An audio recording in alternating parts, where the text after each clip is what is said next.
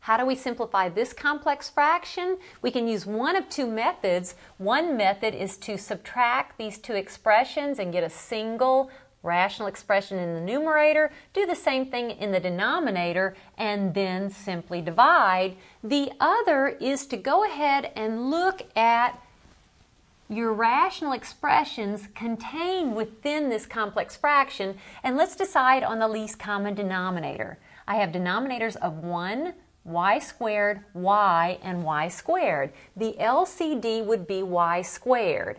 I can multiply the numerator of this complex fraction by y squared and the denominator by y squared. Because I'm multiplying by y squared over y squared, that's the same as multiplying by 1, and I haven't changed the value of this expression. Now, if I multiply the numerator by y squared, that means every single term in the numerator and the same thing in the denominator.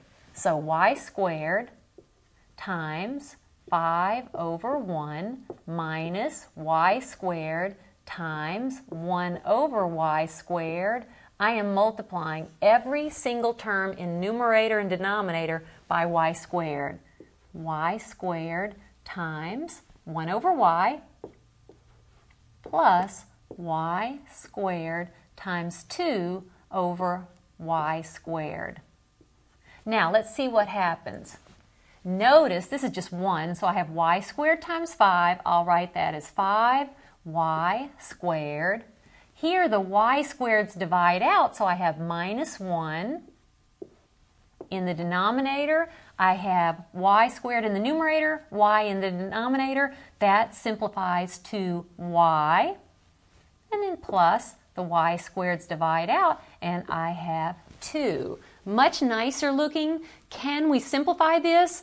This is the difference, but not the difference of two squares because we don't want to get into radicals. We haven't talked about those yet. So there's no simplifying that can be done further, and there I have it.